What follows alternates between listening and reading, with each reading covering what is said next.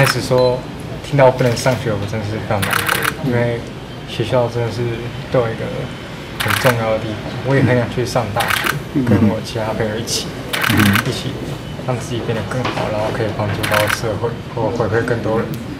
用尽全身力气表达对外界感谢，海大附中抗癌斗士林同学说出心里的话。大家都说什么是微薄之力，说小钱，可是这真的对我来说是非常大的帮助，因为这件事真的会关系到我以后。哇，好棒，好棒！一旁的副市长邱佩玲给予大大拥抱，鼓励林同学要加油，政府会作为最强的后盾。我去年十一月份看到禁演。就非常感动，也跟龙总联络啊。龙总告诉我的时候，我觉得经验的勇敢值得我们佩服。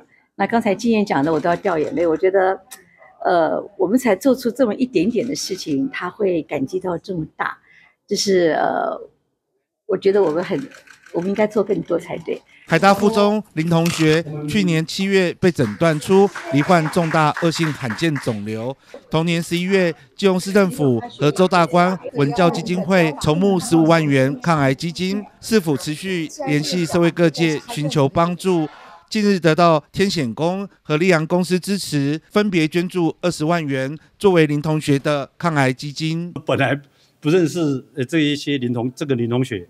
那今天看到他呢，身体这么瘦小啊，我觉得有点，有点老说，因为我们都是有小孩的人了，以后他有困难呢，如果我知道，我会义不容辞的再来帮助他。吴市长的一句话，那我们就跑跳出来了。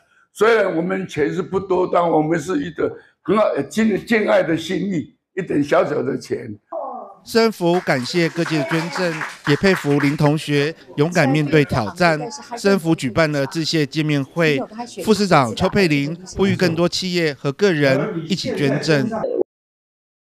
我觉得他非常了不起，院长也告诉我说，他在这个治疗的期间真的是非常勇敢，要面对所有的这个一切不舒服的状况，还能够保持一个优越的努力往上的心，是很困难的。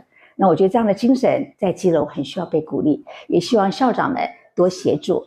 那真的很感激，这样一通电话就愿意协助基隆，让每个人变更好的善行者，真的很谢谢你们。再一次，真的致上呃谢国良市长最高的敬意。据了解，林同学已经完成第一阶段的治疗，花费了一百六十万元；第二阶段的治疗费估计要七十万元，尚有三十万元的缺口。市政府持续联系社会各界，期盼社会一起伸出援手。记者黄少明这种报道。